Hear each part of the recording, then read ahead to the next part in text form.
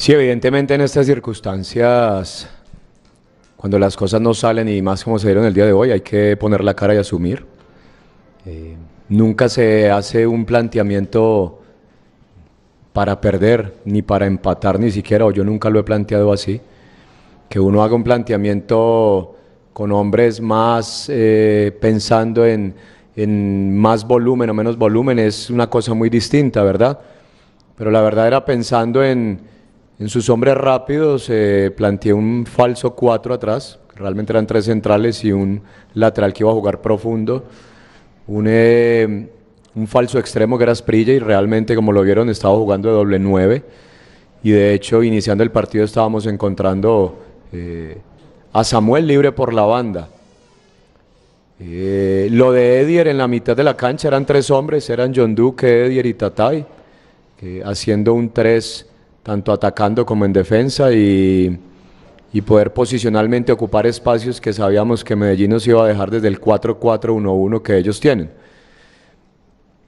Iniciando creo que posicionalmente las cosas se estaban dando, después viene ya el gol y, y lo demás y, y repito, de mi parte tengo que asumir, asumir la responsabilidad sea cual sea la razón desde la plantilla, desde la nómina que puse, desde la estructura que utilicé, eh, no me queda otra cosa más que asumir la responsabilidad. Por supuesto que pedirle excusas a la hinchada y a la afición por lo que sucedió el día de hoy.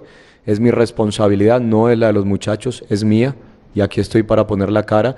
Y mi trabajo también es rápidamente replantear para lo que viene el miércoles y cerrar dignamente, como lo hemos hecho en otros partidos. Es replantear y cerrar dignamente porque pues hay otro día, mañana hay otro día y tenemos que levantarnos y trabajar como profesionales y pensar en lo que viene. Parte del planteamiento era con Edier Ocampo, con su capacidad de marcar, porque es un jugador que tiene una, una capacidad inmensa de, de, robar la pelota, de marcar en el uno contra uno y también en, tanto ofensiva como defensivamente. Y, y Tatay, eh, ellos dos en el planteamiento, si ustedes lo revisan, era igualar a los dos volantes centrales de, de Medellín y tener un tercer jugador que pudiera estar respaldando permanentemente, que era John. Digamos que era hacerle un 3 contra 2 a esa mitad de Medellín, precisamente teniendo en cuenta que no estaba Robert, ¿verdad? Después sucede eh, lastimosamente el accidente de John y por el marcador adverso me la jugué con, con jugadores más ofensivos, mantener una mitad ofensiva pensando en, en igualar y remontar el partido. Las cosas no salieron hoy, repito no salieron y, y, no me queda de otra que poner la cara y asumir la responsabilidad. Bueno, como lo dije, el planteamiento hombre por hombre es pensando obviamente en la estructura del rival eh, y obviamente teniendo en cuenta lo que veníamos eh, haciendo partidos anteriores desde carga y desde lo que había funcionado o no había funcionado en el campo de juego, desde lo individual para construir un colectivo, ¿verdad?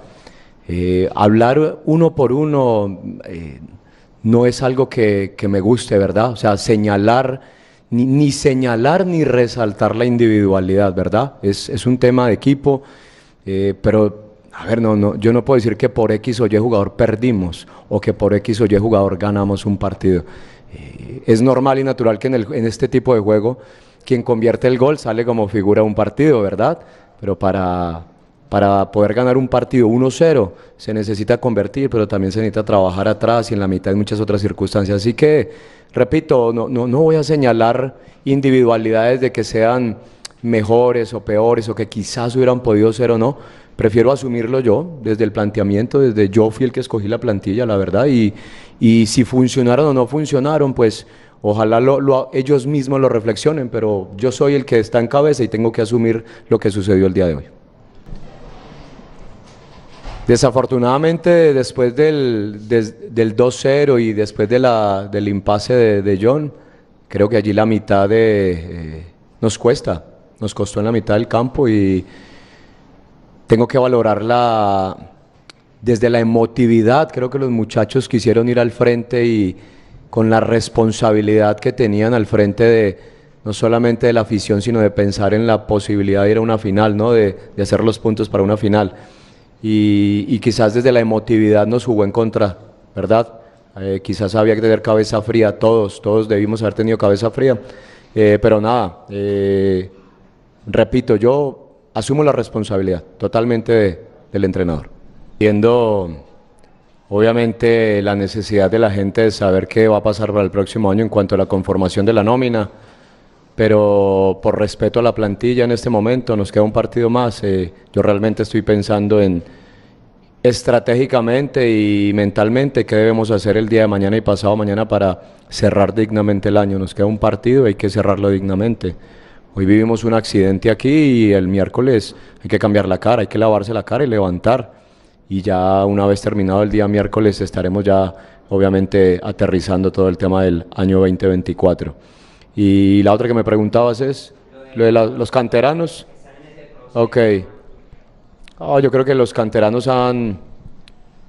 A ver, por, por el partido de hoy no podemos caerle encima ni a los canteranos ni a los experimentados, eh, de verdad que no. Yo entiendo lo de hoy es doloroso, para mí es supremamente doloroso. O sea, eh, terminar un partido así, nadie se lo imaginaba, nadie ni siquiera lo pensaba.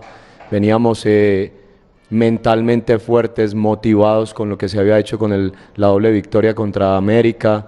en fin, una cantidad de cosas que, que nos anteceden, pero que pues obviamente desde el pasado no podíamos vivir, teníamos que pensar en el día de hoy y, creo que caerle, señalar individualidades, edades, para mí no, no cabe en este momento.